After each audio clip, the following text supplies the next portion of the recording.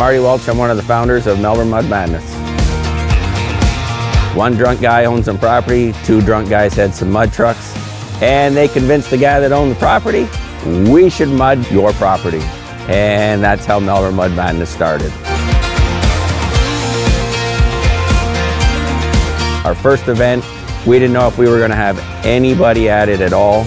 We had no advance ticket sales, and the morning of was chaos. We had 600 people show up to our first event. You take off the two years of COVID, we've been around seven years, I guess. The weekend starts Friday at 3 where the gates open so you can come and camp, stay overnight, get prepared. Saturday morning the trucks start about 10 a.m. to 1 p.m. and then at 1 o'clock we have North of the Border Racing Series coming, going to race and jump some trucks for us.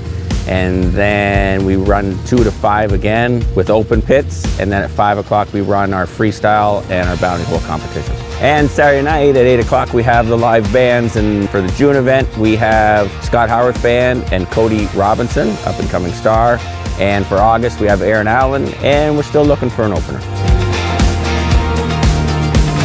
For anyone looking for tickets, you would go to ticketscene.ca and if you're a family, we really don't have a family pass per se, but you get your adults. Kids are free because we really want it to be a family event. So any kid 12 and under is free to get in. We at Mud Madness, everyone's a volunteer, everyone donates their time. Me as the property owner, I donate my property and everything that is profits over and above the cost of the insurance and stuff all goes to local charity. Our three main charities are our local Legion, our three local volunteer firefighters, and our three local food banks. And then we also do various other, but those are the three main.